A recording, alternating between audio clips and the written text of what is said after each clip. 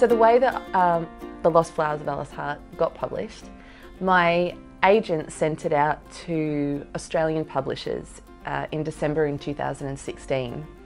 Um, I think there was about like a three week reading period and uh, the sort of close of that period when authors were invited in from publishers on the book was the same day that I was due to land from Manchester um, in Brisbane to come home with my partner Sam.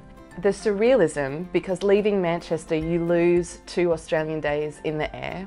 So while we were in the air, everything was ramping up to this final day when the offers would close. And on the plane from Manchester to Dubai and then Dubai to Brisbane, Sam and I would just occasionally look at each other, you know, in that cramped space and in that zombie headspace and just be like, oh my God, do you think we'll get like one offer on the book from anyone? And he was like, you know, I believe, babe. And I was, I was just thinking, oh my God, I just hope I get one. Um, because you're so vulnerable and, and you know it's the it's the dream it's my childhood dream so we landed in Brisbane and we got home and offers closed at 5 p.m.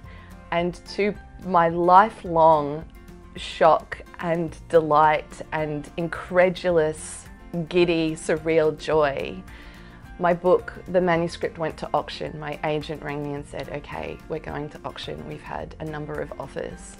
So that proceeded then, that was um, I think on a Monday, and that proceeded right through until Friday, back and forth, and the anxiety, and I wasn't sleeping, and jet lag, and I was a wraith, and I couldn't believe it was happening.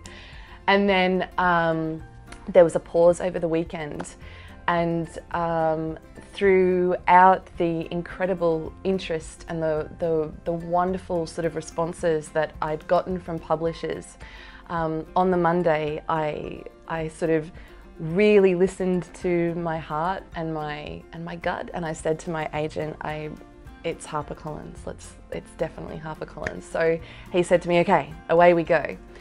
At the same time, um, I had booked in that day a touch-up appointment for my first ever tattoo with uh, Samantha Smith uh, on the Gold Coast. And so I went to the tattooist and it was going to take all afternoon. And my very first tattoo um, is a visual symbolism of the Lost Flowers of Alice Hart, which I got to mark finishing writing it. And so I went to see her, to see Samantha, to get it re-inked.